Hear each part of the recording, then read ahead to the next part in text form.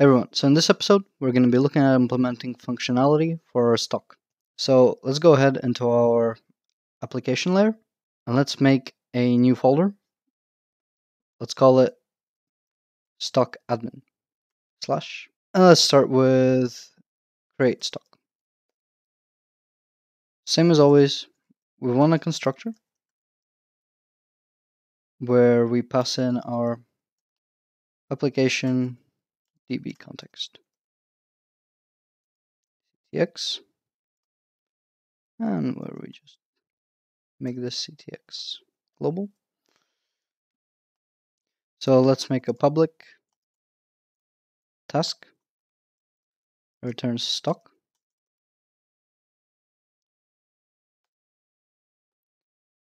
And let's make it asynchronous because we're going to be creating a stock. And let's call it do. And let's just return new stock for now. So when we create a stock, we want to know to which product the stock belongs and obviously the information for that stock. Let's quickly take a look uh, at our stock model. So we can see we don't really need the ID. We do need the description and the quantity. We don't want the product, but we do want the product ID. So we need these three properties. Let's copy them. Let's create a public request, make it a class. Let's paste these properties into here and let's move product ID to the top. This should accept this request. Request. Now what we want to do is we want to create our stock.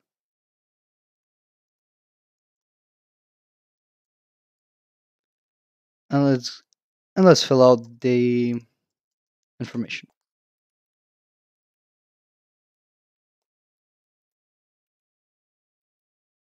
Let's uh, add the stock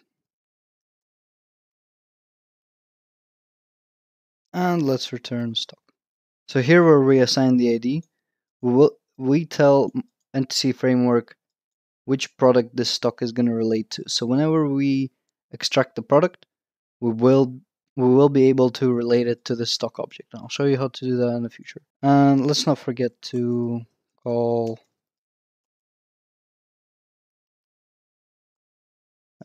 Here it is, save changes async.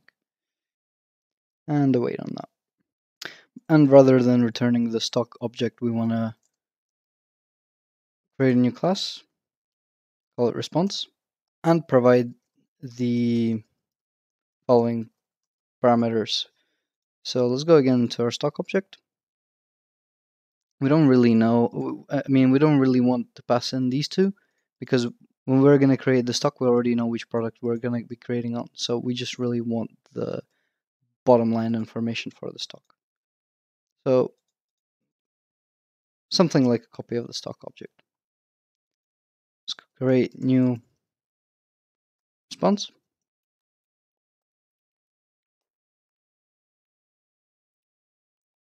And set the type to this.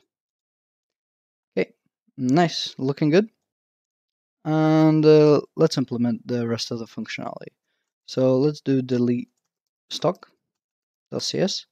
Since that's going to be an easy one, let's copy this constructor and the do method. Let's return a task of bool. Import application DB context. Rename this. We don't need a request, we only need an ID. Let's remove all of this return true. Uh, context, let's save changes async straight away. Oh, wait.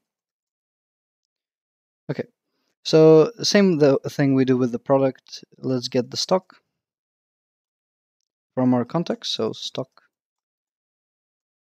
uh, dot first or default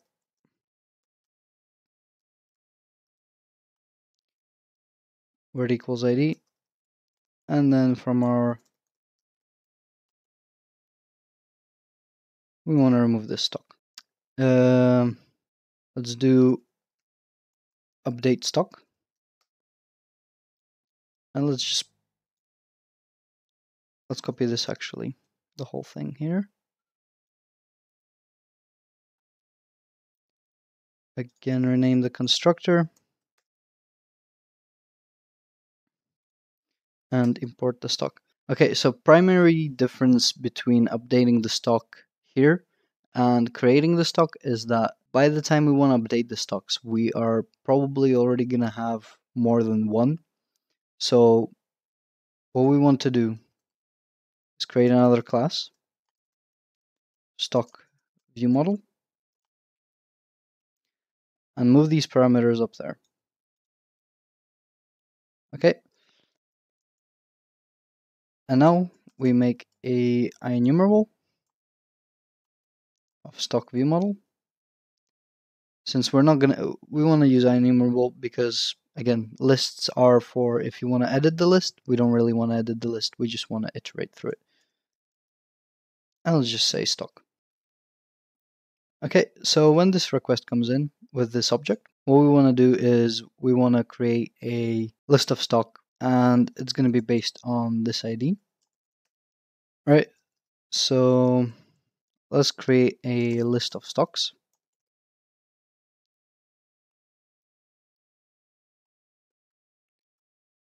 And for each stock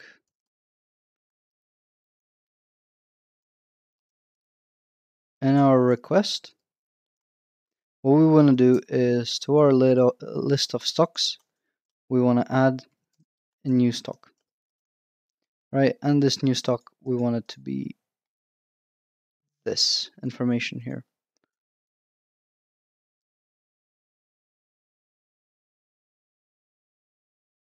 All right, and instead of the request, it's going to come from our stock object. And let's not forget about the ID.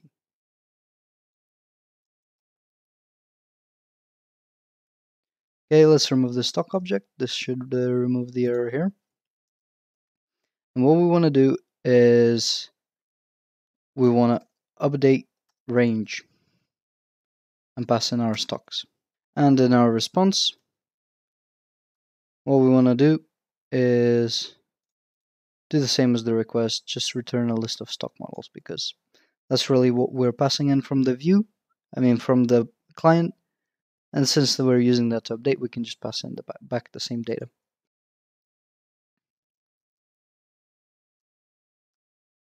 It seems a little bit unnecessary, to be honest, having a two object with the same class, but for the sake of single responsibility, uh, keeping the single responsibility principle, this is how we want to handle it. So I am aware that there's a bit of du code duplication going on here. Okay, so now that we have update update stock, let's create get stocks.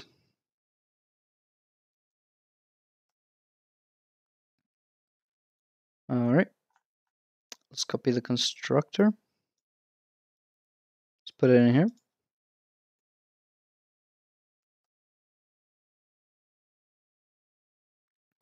Update the constructor name. And let's do public list get stock actually sorry do and return So let's go into our update stock. Let's copy the stock view model, put it in here. And instead of list, let's say IEnumerable, stock view model. What we're going to pass in is a product ID. Okay, so if it was just an ID that was relating to the stock, it would be fine to pass in ID.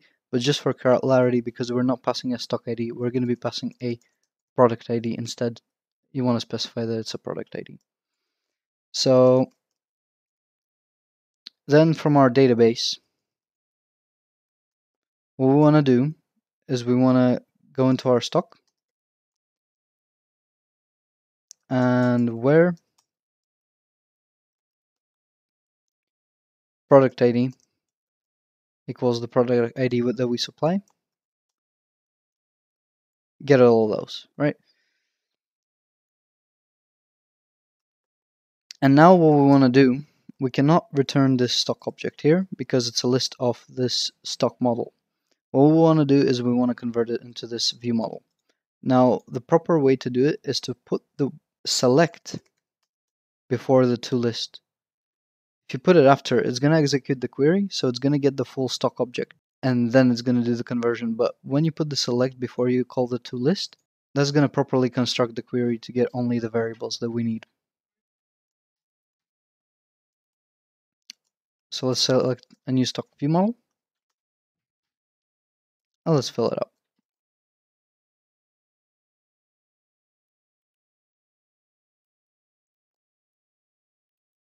And we don't actually need the product ID, so let's remove it from here. So at this point, we shouldn't really have a need to get a single stock at any point, so I'm going to leave it at this. This will be it for this episode. I hope you guys enjoy it like, subscribe, help me get these series out to more people so more people can learn this amazing stack. If you have any questions, leave a comment. I'll try to answer all your questions. And as always, see you in the next episode.